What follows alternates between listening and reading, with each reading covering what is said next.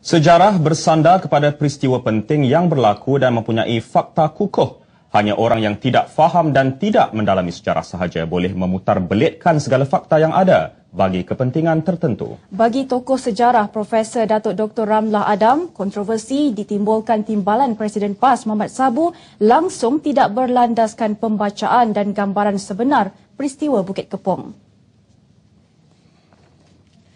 Merujuk kepada kajian dan pendedahan buku The Malayan Emergency Revisited 1948-1960 karya Lieutenant Colonel Besara Muhammad Azam Muhammad Hanif Gaus, banyak gambaran kekejaman boleh dilihat. Juga karya Muhammad Ridwan Asli bertajuk Pemberontakan Bersenjata Komunis di Melaya jelas membuktikan Mat Indra bukan hero Bukit Kepong seperti didakwa Mat Sabu. Dan Mat Indra adalah orang yang menjadi anggota pada Parti Komunis Melaya dan menjadi ketua kepada uh, serangan itu. Ya, sama ada dia beri arahan tangkap berapa orang ke tak tangkap berapa orang ke, tetapi soalnya dia telah menyerang satu balai polis, ya antara salah satu balai polis yang diserang, ya dan arahan itu telah menyebabkan satu kemusnahan bukan saja harta benda tetapi yang paling penting ialah nyawa dan dia menunjukkan juga uh, bagaimana teganya ya pihak Parti Komunis Melaya yang diketuai oleh Mat Indra untuk membunuh membakar orang yang masih bernyawa dibaling ke dalam unggun api yang begitu besar atau dalam bara api yang begitu besar Wujudnya isu siapa pejuang sebenar kemerdekaan mungkin punya maksud tertentu. Justru beliau melahirkan kebimbangan berikut. Saya bimbang. Semua isu ini, semua kontroversi ini ditimbulkan kerana agenda besar terselit ya di belakangnya. Saya harap uh, rakyat Malaysia kena sedarlah ini ya. Kalau tak berlaku tak apa tetapi saya bimbang dia sebagai satu strategi untuk membolehkan ya Chin Peng balik ke tanah Melayu ke ke Malaysia ya. Dan saya percaya bantahan-bantahan pasukan keselamatan itu wajar ya. Sebab mereka yang menentang komunis dalam hutan ya ada yang kudung kaki sampai sekarang, ada yang buta mata sampai sekarang, ada yang uh, anak-anak kehilangan bapa ya kerana terkorban, ada isteri yang menjadi janda ya kerana terkorban dan mereka terpaksa menempuh hidup yang susah. Profesor Datuk Dr. Ramlah turut menyeru rakyat agar tidak terpedaya dengan kenyataan Mat Sabu. Saya nasihatkan kita baliklah kepada uh, kebenaran sejarah itu sendiri ya. Uh, memanglah pendapat tak sama tetapi fakta sejarah itu tetap sama ya. Tetap sama. Interpretasi mungkin tak sama tetapi fakta itu saya rasa memang sama ya. Tetapi ini bergantung pada sama ada kita nak mengakuinya atau tidak ya. Jadi kalau orang tak tak nak mengakuinya maka tentulah dia akan buat cerita macam-macam ya Bagi seorang lagi sejarawan negara, Profesor Emeritus Tan Sri Dr. Koo Kee Kim, di sebalik kontroversi yang berlaku, rakyat perlu lebih celik sejarah. Ia bagi mengelak salah faham dan putar belit fakta seperti mana ditimbulkan Mat Sabu.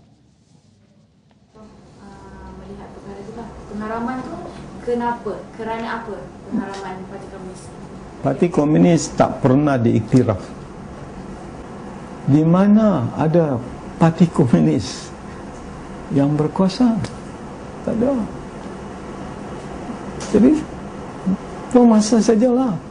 Orang yang membangkitkan perkara ini nak tipu rakyat. Mungkin kerana rakyat tidak begitu faham tentang ini semua mereka nak tipu rakyat. Tapi buat apa? Ada orang kata Mak Indra itu bukan komunis.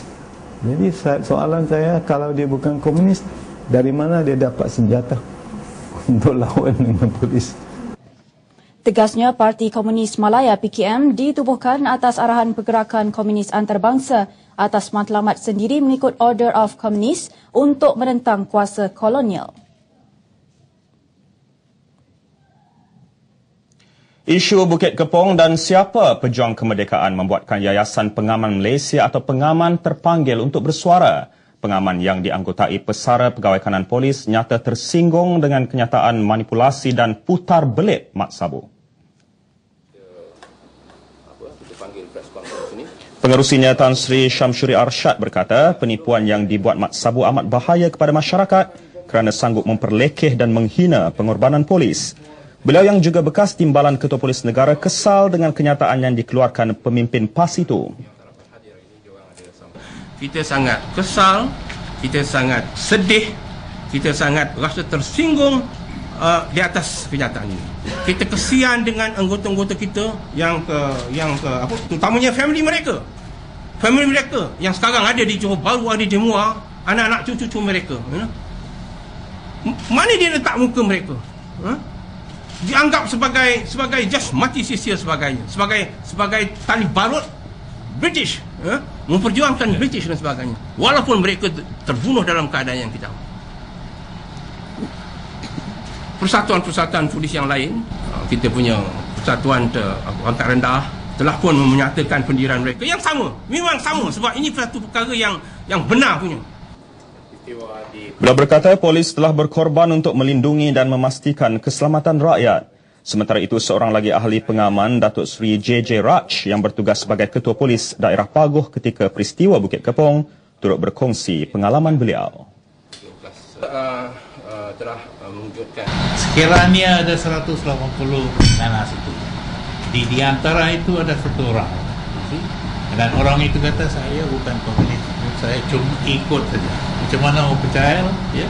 180 komunis itu. Semua dia komunis. Semua dia mempunyai, mempunyai, mempunyai senjata. Semua dia menerang polis. dia dalam kumpulan 180 tu menyerang balai polis lebih kurang 20 orang dan dia dianggap sebagai hero oleh Mak Sabu.